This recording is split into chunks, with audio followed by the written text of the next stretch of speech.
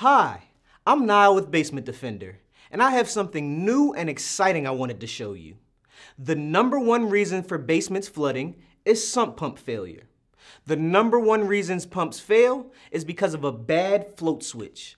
Basement Defender has developed its own high water alarm secondary float switch for single AC sump pump system. If the main float switch fails, the secondary float switch will activate the sump pump and send you an alert by text, email, or push notification. You would be notified if one of these three issues arise. The float switch for your sump pump is not working, the pump is not working, but the float switch is, and the sump pump and float switch are working but can't keep up with the amount of water you're getting in your sump pit.